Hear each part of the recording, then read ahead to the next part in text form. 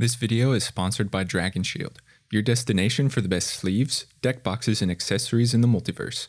Purchases through the affiliate link below help the channel grow and improve.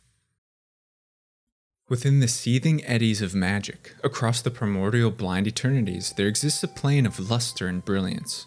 A strange world, artificial in nature but not devoid of life intelligently designed for immaculate mathematical perfection, while at the same time hosts to creatures or creations born of spontaneity.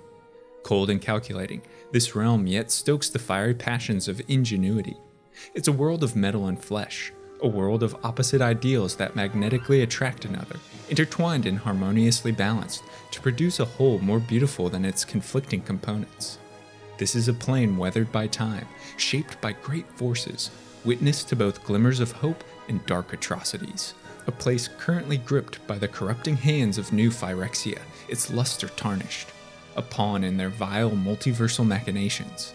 Welcome to Mirrodin.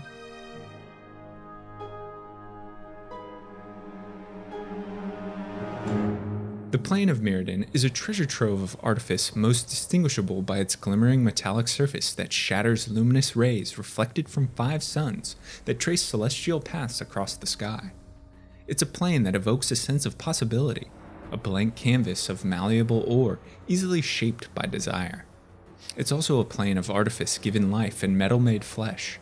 Mirrodin is unique in the blending of natural with artificial.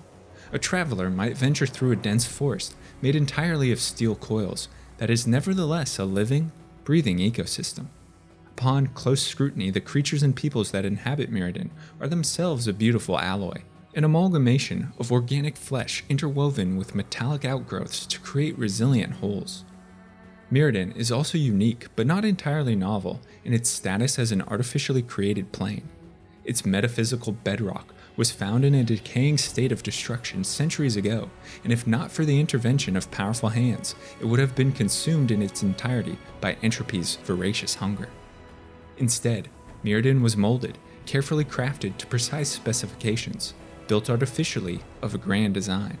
Similar to the old plane of Phyrexia before its dissolution, Mirrodin wasn't born naturally from the forces of the multiverse.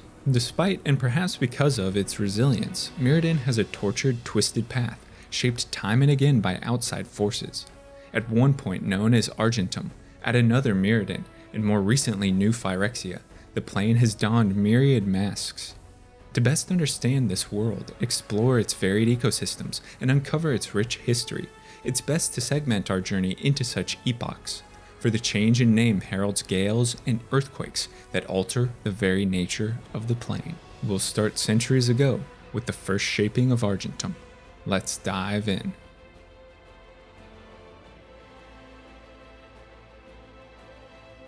The plane that would later become Mirrodin was born from coincidence, its vision created within the mind of Karn Silver Golem, a newly ascended planeswalker who stumbled upon a foundational skeleton of a plane that was derelict and desolate while exploring the blind eternities and testing the limits of his newly acquired skill. What Karn saw was possibility.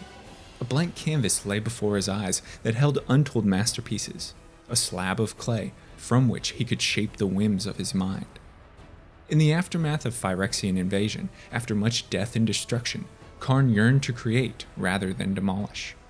The vision for Argentum flashed before him, and Karn set about crafting a plane around this desolate skeleton. He materialized the structure and substrate of his metallic world using immense, pre-mending powers. As a being himself born of artifice, the Silver Golem formed Argentum in his own image, a mathematically perfect world built of steel, its endless horizons and cloudless skies sporadically broken by domineering metal towers. Beneath this outer shell, an internal sphere housed a massive orb of pure mana, the core of the plane that fueled it, stabilized it, and tethered it to the rest of the multiverse. Large struts and coils of interwoven beams connect the core to the surface and support the external world. With his grand creation given shape, Karn realized it remained eerily silent, devoid of life. The Silver Golem understood how violently unpredictable natural and sentient creatures could be, so to retain its lustrous innocence, Karn fashioned a generation of metal golems in his likeness, endowed them with the purpose of safeguarding his idyllic creation, and distributed them across the plane. The Ur Golems, like their progenitor, were industrious and tireless, roaming the surface to maintain Argentum's perfection. Karn, meanwhile, was filled with wanderlust, a burning desire within his heart to learn, teach, and explore limitless possibility in the blind eternities, tore him from peaceful reverie on Argentum. Before he set off to unknown realms, he crafted another golem superior to the Ur golems in design and purpose, imbued with the powers of the Mirari artifact placed in its core, and instilled in it the role of steward over all Argentum in its master's stead. The golem Memnarch was born, and the planeswalker ventured beyond the plane. But Karn had left something behind a dark stain of glistening Phyrexian oil had dripped from the silver golem, and over time would initiate a startling, corrupting transformation of both the plane and its steward.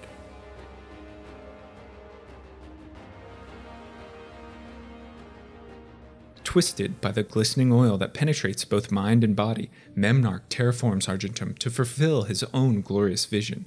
A world that supports life beyond that of the artificial silent Ur-golems. The steward grows jealous of his master, and resentment boils into desire, a need to acquire a planeswalker spark. To harvest such a spark, he turns the plane into a massive experimental terrarium with the purpose of housing beings kidnapped from other worlds. The slow, methodical task of reshaping Argentum is shouldered by the Ur-golems at Memnarch's behest. They terraform the plane's pristine surface, erect metal facsimiles of forest and field, mountain of rugged rock, fetid swamps of rusted metal, oceans of foaming quicksilver. The golem's task is aided by the strange substance mycosynth, which works at a microscopic level to transform metal into organic material and vice versa, altering the foundational composition of the plane. We can see this illustrated in cards like Mycosynth Golem and Mycosynth Lattice. It gains a particularly strong purchase within the plane's mana rich core, as Argentum assumes a new shape and purpose, it's also given the name Mirrodin, bestowed by its warden Memnarch. With the Ur-Golem's purpose fulfilled, Memnarch sees in them only potential opposition to his rule. Mirrodin's despotic creator systematically and brutally eradicates them. This epoch of transformation is catalogued in the flavor text of the Cycle of Tower cards. Tower of Fortunes reads The Ur-Golem etchings begin by celebrating Mirrodin's creator, a golem of almost limitless power they end by cursing its protector, a being called Memnarch. While Tower of Champions states, the Ur-Golem runes tell of the transformation of Mirrodin's warden from silent guardian to merciless god, which harkens to the slaughter of their kind. As his terrarium takes shape, Memnarch imports all manner of creatures to populate Mirrodin's variable ecosystems using soul traps that ensnare from other worlds. From his observatory of Panopticon within Mirrodin's core, the plane's steward silently watches his experiment unfold. We see this in the art of Eyes of the Watcher. Memnarch's observation is supplemented through thousands of artifact creatures known as Myr, which act as the eyes, ears, and presence of their master, who gradually recedes behind the mists of mystery and isolation. We see the Myr created in the art of Genesis Chamber, whose flavor text reads as the experimental population grows, so do the number of Myr. It's a perfect equilibrium. In its completed form, Mirrodin is divided into five large geographical regions, each uniquely tied to a particular color of mana, whose influence largely dictates the environs and inhabitants. Each region has within it a lacuna, a large hollow tunnel burrowed into the core of Mirrodin, and from which a respective ball of pure mana of similar color burst forth, to claim its place among the firmament as a sun. Five such suns trace a course across the plane's sky and impact the forms or abilities of creatures on the surface below, as seen in the mechanic sunburst.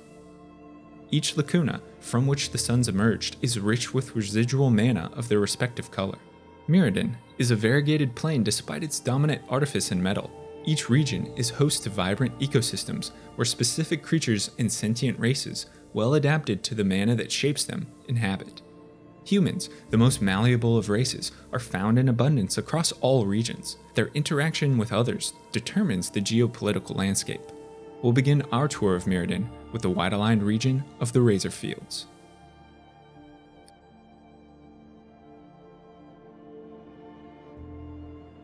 Expansive plains of smoothly rolling hills are covered in densely packed thickets of tall, sharp metallic grasses, namesake of the razor fields. Though stunningly beautiful at a distance, The razor grasses bear edges and points sharp enough to flay muscle or metal alike, and are often used as a defense for this region's populations. We can see the dangerous serenity of the razor grasses on the art of several plains cards, and many beings such as Razorfield Rhino and Razor Golem have adapted to the lethal blades with thick hides of metal. The dominant race on the plains are the cat like martial Leonin, who organize themselves into familial prides much akin to lions. From the ancient den of Taj-Nar, the ruling Ka issues decrees and arbitrates grievances. A deeply religious culture, the Leonin worship the white sun. Their clerics, called Abunas, are adept at both restoring metal and dismantling it, which we can see in the cards Altar's Light and Ritual of Reclamation. Fierce, Pteron mounted Knights, dubbed Sky Hunters, patrol the razor fields from above to safeguard the prides from external threats, equipped with the best weaponry forged by renowned smiths. The razor fields are also home to steadfast elephant like Loxodon. Adopting an aura of stoic monasticism, Loxodon are wholly devoted to the moral strictures dictated in the codes of the modest truth. They're obstinate in belief and unyielding in battle, which makes them exceedingly recalcitrant. Inflexible to a fault, Loxodon are nevertheless the most stalwart of allies.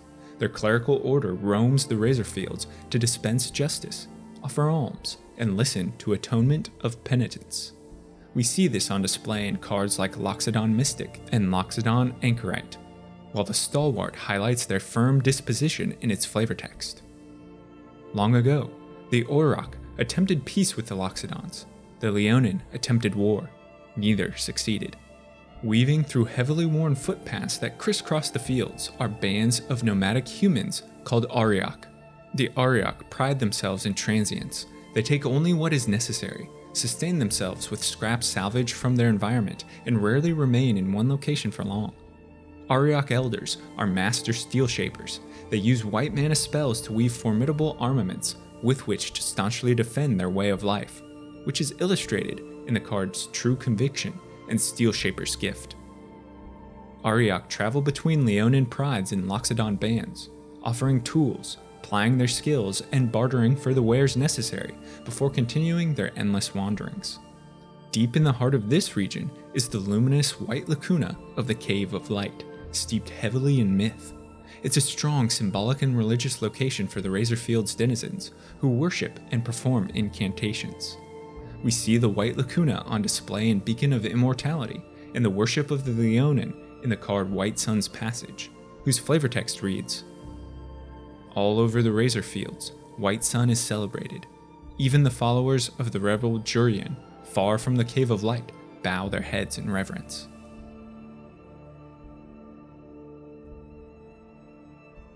The sharp grasses and shimmering plains of the Razorfield give way to looming spires of living metal that twist and branch as they reach toward the heavens, supporting a broad ecosystem on and beneath their canopy, seen in Razorverge Thicket. This dense forest of steel is aptly named the Tangle, Mirrodin's green aligned region. Even on a plane of steely artifice so opposed to this color of mana, the natural fierce vigor of life manifests itself within the Tangle.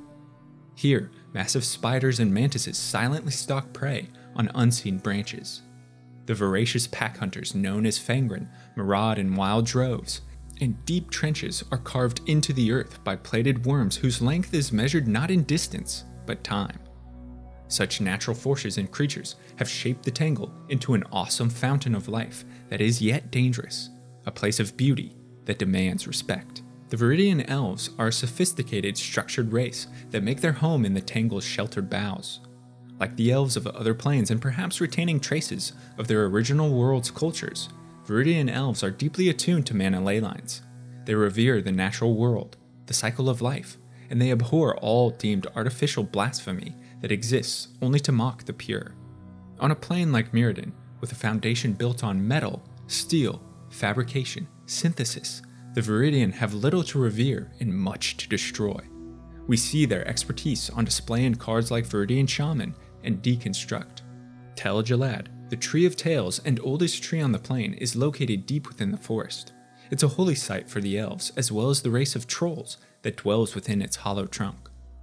Etched with the history of Mirrodin, Tel Jilad is guarded by the trolls whose monastic and ascetic lives are spent chronicling histories, weaving tales of the plane for future generations. A small band of elves, chosen by the trolls and affecting both merit and skill, protect the tree with their lives, patrolling its borders to seek out threats. We see this in cards like Tel Jilad Chosen and Outriders. The green aligned human druids of the Sylvok also owe their survival to the bounteous Tangle, while the elves seek to maintain the natural order through aggressive eradication, Sylvok instead nourish growth. They foster life to spread green mana's ideals. This comes in the flavor text of Lifesmith, which reads The Sylvok see the artificer as a gardener, preparing the world for hardy growth. The Sylvok are sojourners at heart, and to become an esteemed druid, one must survive off the land, must outsmart the Tangle's dangers in a vision quest. One Sylvok's quest ended abruptly in the card Alpha Tyrranax. In Nourish and Sylvok Explorer, we see how in tune the humans are with the Tangle. They are extensions of its will and can navigate its threats with relaxed clarity. In the heart of the forest lies the green lacuna known as the Radix, an unfathomably deep trench revered both by Viridian and Sylvok. The location is depicted in the art of Hum of the Radix, and its importance in Viridian culture is detailed in its flavor text. The elves learned long ago that anything left here slowly vanishes. Now it's a sacred site where the dead are laid to rest and where unnatural magic is erased forever. Although the Radix is a place of vanishment, of ending and loss, it's also one of explosive growth due largely to surges of green mana. Its powerful force of nature can be seen in the art of the card, Beacon of Creation.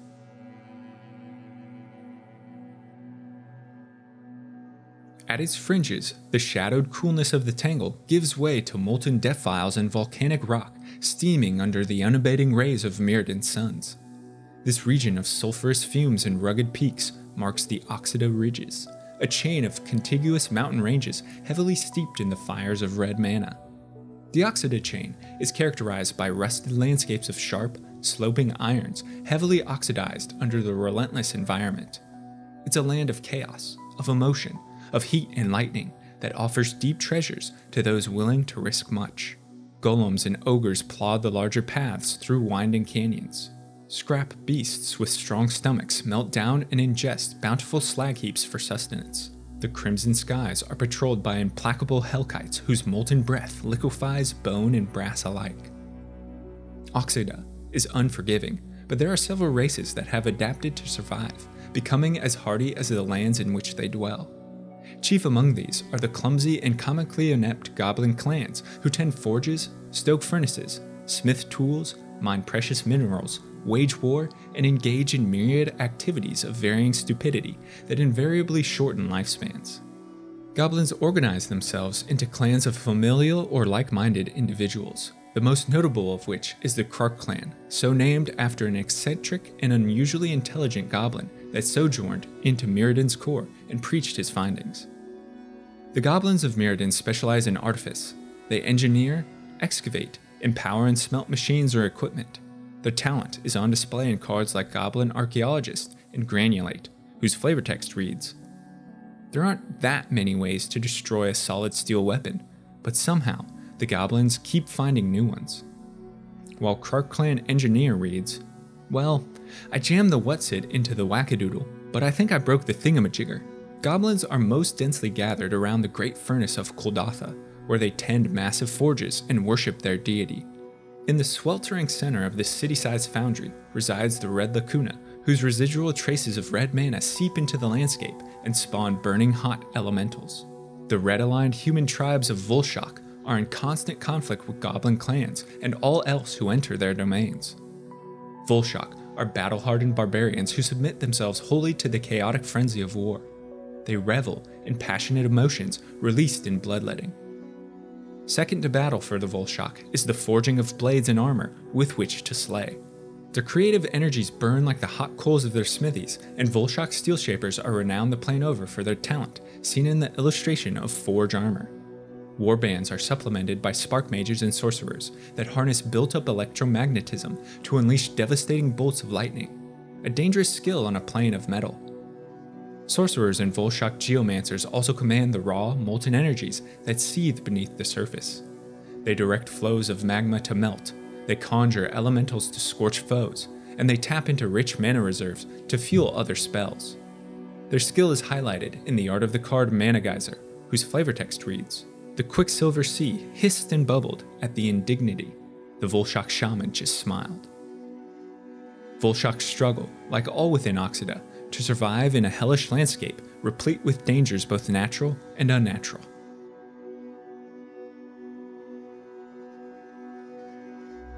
At its borders, the explosive energies of Oxida are overtaken by an eerie stagnant silence that weighs heavily on all who venture into the fetid swamplands of the black-aligned Mephidross, consuming them in wispy, insidious tendrils.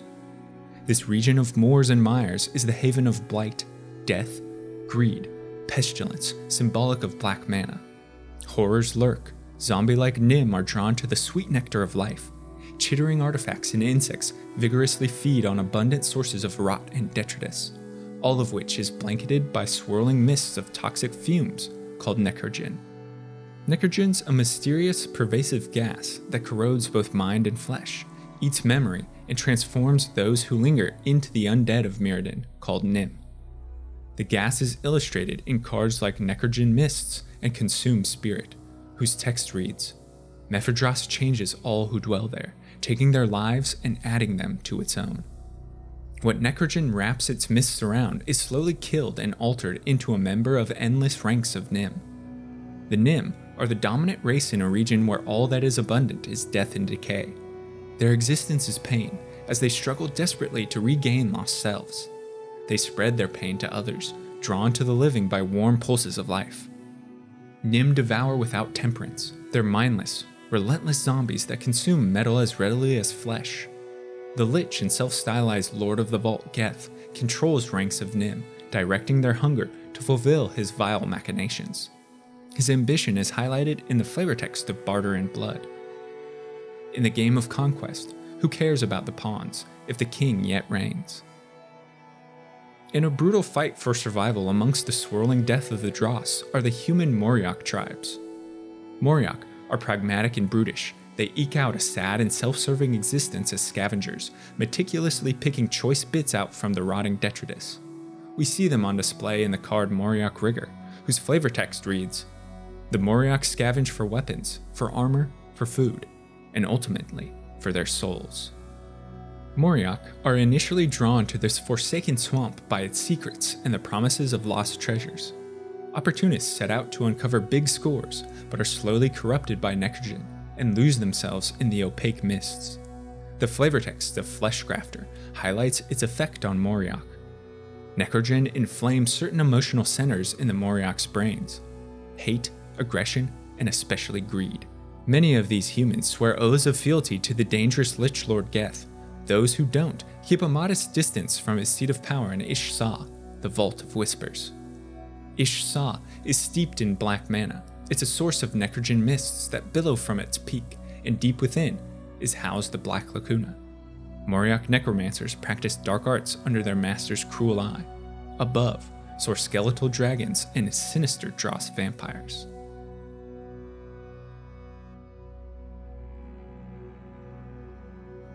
The hissing miasma of Mephidross disperses against relentless gales and breaking waves of the Quicksilver Sea, Mirrodin's blue-aligned region. As its name suggests, this maritime body is filled with a malleable liquid metal rather than water, and true to its name, the sea's reaches are fickle as quicksilver. Its uncharted depths are populated with variegated species of serpent, leviathan, octopus, and benthic dwellers, while peculiar schools of flying fish and manta rays flit along the powerful jet streams above. Enormous insectoid striders move about the water surface, maintaining their position atop with deft skill. As one ventures from the remote wilds of the Quicksilver, signs of civilized settlement appear. The vast floating fortress of Lumengrid dominates the horizon, a bastion of knowledge and progress. Poised atop massive metal stilts rising from the waters, Lumengrid is haven to the enlightened race of blue-skinned and cold-hearted Vedalken who care little for sympathetic hospitality. They spend all waking hours engrossed in preservation of information, in illumination of the mind, It's the most valuable commodity and the currency of choice, which we hear in the flavor text of Lumengrid Augur. Information pumps like blood through Vedalken society. Vedalken are masters of artifice and mental magic. As cold as the metal they shape, the Vedalken ponder the deepest mysteries of Mirrodin above all else, seen in Thoughtcast and Vedalken Archmage. In Lumengrid's walkways is situated the Knowledge Pool, the blue lacuna of Mirrodin, in whose liquid luminance the answer to all questions flows. We see it illustrated in Beacon of Tomorrows and the eponymous Knowledge Pool. Mirrodin's blue lacuna is a source of arcane wisdom presided over by the Synod, a council of the highest ranking artificers, researchers, and wizards among the Vedalken, who direct their endeavors and arbitrate research grants. But the knowledge of the pool doesn't flow freely. As the flavor text of Grid Monitor suggests, the Vedalken are highly protective of their insights and guard Lumengrid with focused vigilance. It reads The Vedalken protect the knowledge pool at any cost. They employ all manner of traps, security measures, and artifacts, thus ensuring their most cherished knowledge isn't uncovered by prying eyes. Perhaps the most infamous defenders are legions of hoverguard drones that silently patrol the skies in search of trespassers or in response to threats. We see this in the art of hoverguard sweepers, and their lethal efficiency is recounted in the flavor text of Advanced Hoverguard. They're like their Vedalken masters, untouchable, aloof, and omnipresent. Along the Quicksilver shoreline, tinfoil shantytowns bob with the ebb of the tide, these makeshift settlements are erected by the blue aligned human faction of Neurok. The Neurok are slim and pale, reflective of their subjugated inferiority in light of the technologically and intellectually advanced Vedalken. Like Vedalken, these humans cherish knowledge above all else and pursue esoteric lives to study deep arcana. They are master wizards, artificers, couriers, and spies. Neurok are notorious for skill in espionage and infiltration, as seen in Acquire. They don stealth suits and shroud themselves in magic to obscure, while their hallmark multiplex goggles allow Neurok to scan environments for minute details. Neurok are supplicants of Vedalken overlords who harass settlements and enslave many without resistance. Though seen as inferior, Neurok are employed as mercenaries to bolster Lumengrid's defenses as seen in the Sentinel and as couriers, holders of vital information for Vedalken who mistrust their own kind. The Quicksilver Sea is a dangerous, ever shifting expanse that holds Mirrodin's deepest truths for those brave enough to question.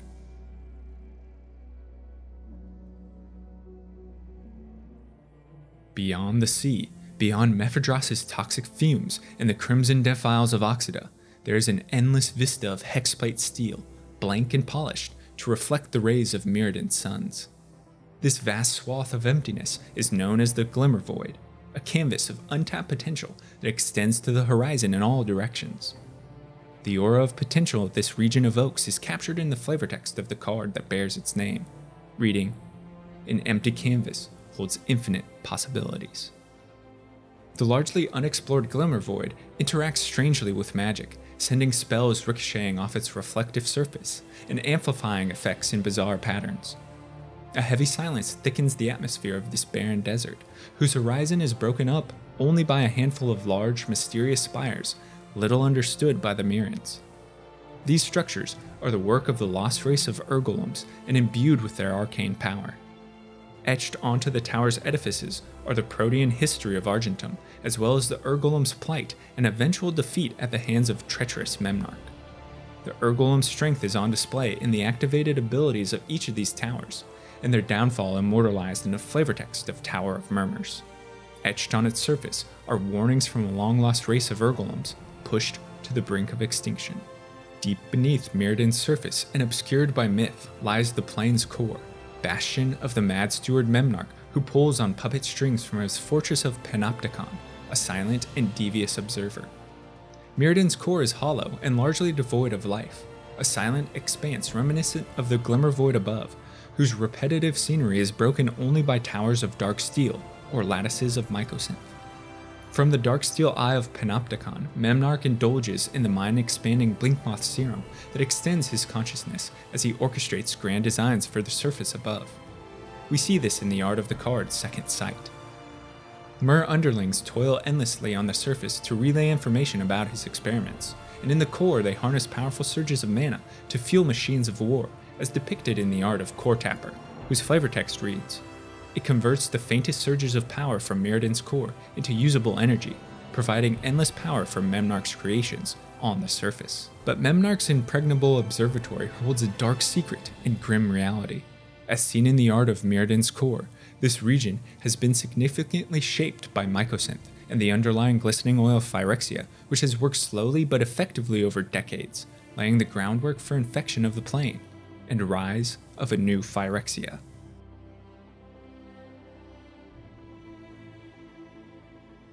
At the end of the original Mirrodin block, Memnarch was defeated, his soul traps destroyed, and the plane left in tatters from years of interminable wars and the sudden disappearance of thousands, known as the Vanishing, as those beings brought from other worlds by traps were returned to their home planes. Despite its sad state, Mirrodin rejoiced in the overthrow of its crazed warden and the freedom hard fought from his predations. But the revelry wouldn't last, and Memnarch pales in comparison to what follows. The glistening oil that had silently worked in the background, changing and twisting Mirrodin, is finally prepared to emerge from the shadows and launch a dangerous, infectious strike against the plane as it consumes all in its progress towards Phyrexian compleation. The scars of Mirrodin block catalogs the Mirran's recovery of the plane, their attempt to resume normal lives in wake of Memnarch's defeat, and the rapid proliferation of the Phyrexian contagion.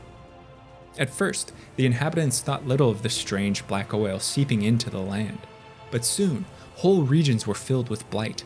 Individuals became afflicted with gangrenous ailments, and hearts were darkened by promises of power. The spread of the oil is on display in the art of the card's steady progress, an inexorable tide.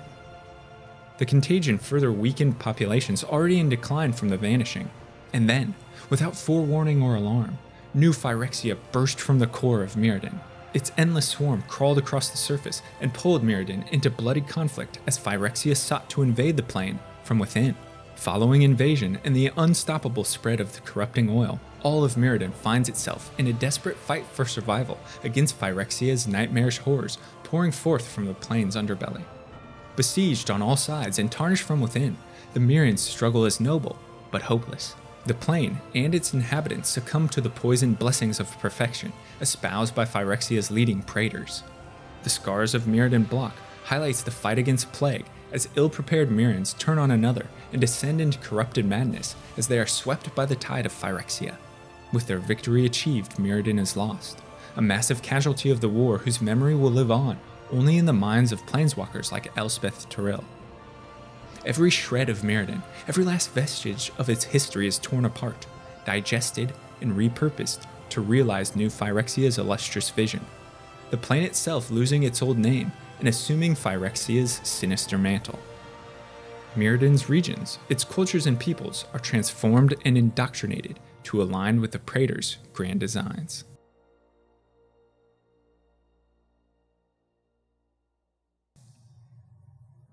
New Phyrexia immediately undertakes a terraforming endeavor on a plane wide scale.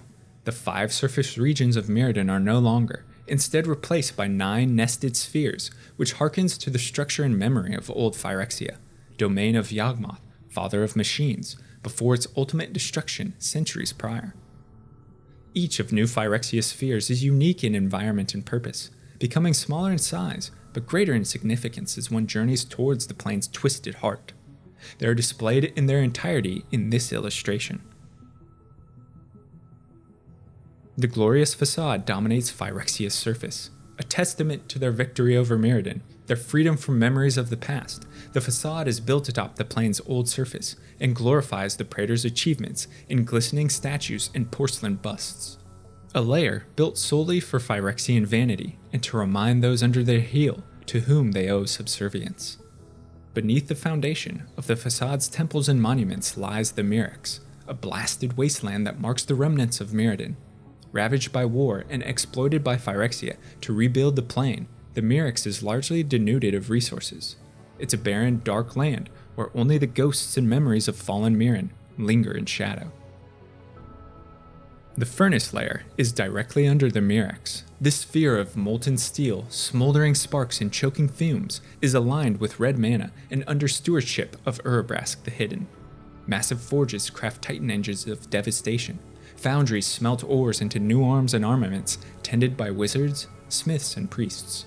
The furnace is a haven of passionate ingenuity in a world largely stagnant in thought, bloated with Phyrexian indoctrination.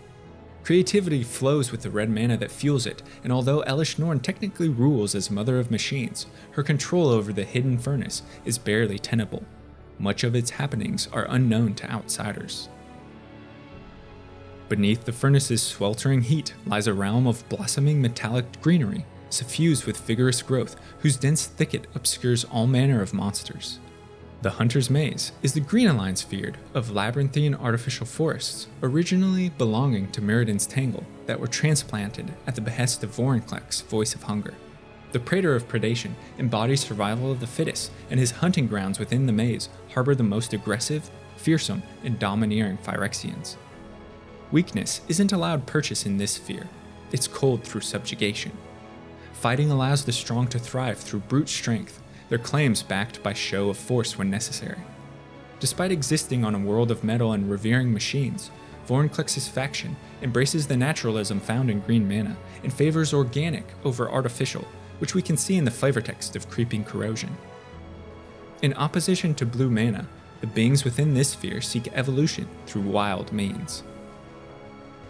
Sitting beneath the maze are endless vats, breeding pools, splicing stations, and experimental laboratories characteristic of the surgical bays, Phyrexia's blue aligned fifth sphere. Havens of knowledge and structures of artificial perfection rise above an endless ocean of quicksilver mixed with glistening oil. Here, wizards of experimentation conduct subversive and blasphemous trials under the all knowing eye of the Progress Engine's praetor, Jin Gitaxias. The Gitaxians value information above all else, they tout intellectual superiority and are obsessed with the addictive pursuit of knowledge. They are masters of artifice and biorecombination. Gitaxians spawn synthetic abominations of metal and flesh to promote new Phyrexia. Cards like Vivisection and Xenograft highlight the physical brutality of the Progress engine. But minds are equally rent and remade in pursuit of perfection, as seen in psychic surgery. Jin Gitaxias views his position as the ultimate seat which stokes paranoia against the other Praetors. He dispatches sleepers and spies to track his rivals, gleaning information on strengths, but more importantly, weaknesses. Stinking pools of rancid filth mark entrance into the Dross Pits, the Black aligned Sixth Sphere. It's a grim place constantly wrapped in toxic necrogen mists. Here, machines of pestilence are created, and only the brazenly ambitious survive. Obliterators, demons, zombies, and ghouls are ruled through ever shifting allegiances towards the seven steel Thanes. Sheoldred, the black aligned praetor of secrets and desires, holds precariously onto her position as leader of the Thanes and ruler of this sphere. But her humiliating defeat and pledge of fealty to Elesh Norn has laid bare a weakening grip as the remaining Thanes constantly probe for an opportunity to usurp her. Death and pain are in large supply in the Dross pits, a bubbling cauldron seething with self serving machinations. Deep in the heart of New Phyrexia sits the impregnable, white aligned sphere of the fair basilica, from which Elesh Norn rules all the plane as the mother of machines. The Grand Cenobite sits atop her throne, administering the machine orthodoxy, which preaches infectious propaganda and extols unity through blessed perfection. A whitewashed porcelain realm, pristine and sanitized, is marked by large statues immortalizing Norn where her supplicants bend knees to worship. The throne room, adorned with gaudy monuments, is where Norn schemes against the other praetors. Although she rules in name, her superiority is constantly challenged and strength called into question. It's here that Norn also oversees the Phyrexian plot to invade other planes in the multiverse. The fair basilica echoes with sermons that ingrain subservience and resignation to the cause. Priests, Clerics and artificers of the Orthodoxy are among the most zealous Phyrexians and will sacrifice much to achieve their goals. Through isolation, torture, indoctrination, they convert others to the Orthodoxy. The remaining layers are the beating heart of New Phyrexia, accessible only with Elesh Norn's blessing. The Mycosynth Gardens are the remnants of old Mirrodin's core. Lattices and columns of the substance have grown vigorously wild, left untended and unchecked. The mycosynth's encroachment is on display in the art of encroaching mycosynth, and we see the extent of its virulent propagation in the mycosynth gardens. This sphere acts as substrate and foundational cocoon for the final sphere that houses the seed core, an incubation chamber for new Phyrexia's ultimate invasion weapon, Realmbreaker. Tendrils of this adolescent world tree, stolen from the plane of Kaldheim, can be seen wrapping around the Mycosynth Gardens. When fully mature, Realmbreaker will shatter the barriers of the Blind Eternities and allow transit from one plane to another. This will turn Phyrexia's dream into reality and allow both them and the glistening oil to extend beyond their world and corrupt countless planes. As such, it's Phyrexia's most precious holding and protected from attack by all nine spheres within which Realmbreaker is enclosed. Argentum, Mirrodin, New Phyrexia. Different names assigned to an artificial plane and indicative of the tempestuous history it has endured. Once a realm of cold perfection, it took on a fiery life of its own and adapted with awe inspiring brilliance, only to succumb to a sickness long instilled and brought once more toward a notion of perfection. But is Phyrexia the ultimate fate of a world that has endured so much? Will it be reclaimed by partisans fighting to restore Mirrodin? Or, corrupted beyond redemption, will it be obliterated by a group of planeswalkers intent on thwarting Phyrexia? Only time will tell. Thanks so much for watching and listening to the Plane of Mirrodin and New Phyrexia Explained. Now I want to hear from you. Let me know your thoughts on Mirrodin, on New Phyrexia and Argentum, as well as suggestions for future videos in the comments below. And if you're a fan of lore and storytelling, consider subscribing to the channel or checking out the podcast where content is uploaded frequently. Again, a huge shout out to all of my Patreon supporters who make all of this possible. I couldn't do it without their spectacular patronage. If you're interested in becoming a lore luminary for access to me, a great community, and early video drops, check out the link below or head to patreon.com slash lorebrarians to learn more. Until next time, go forth and explore the lore.